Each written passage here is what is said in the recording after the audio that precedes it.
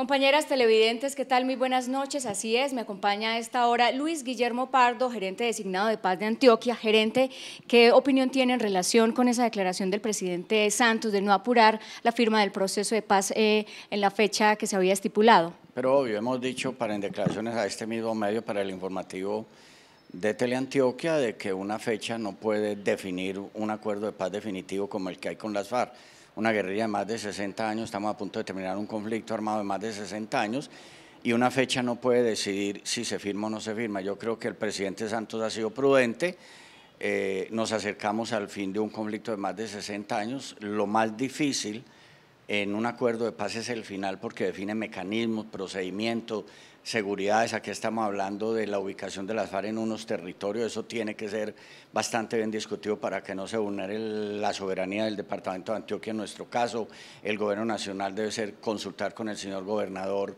si en Antioquia haber o no territorios de concentración de las FARC, eh, desarme, demolización y dejación de armas por consiguiente, es absolutamente razonable que la fecha sea un accidente, que la fecha no sea una, una obligación y por el contrario, que se permitan que se ultimen eh, de la mejor manera posible los detalles que son, insisto, son los más complicados. Parece correcta la decisión del presidente Santos y de la mesa de conversación en La Habana de no amañar la firma de la paz a la fecha del 23 de marzo.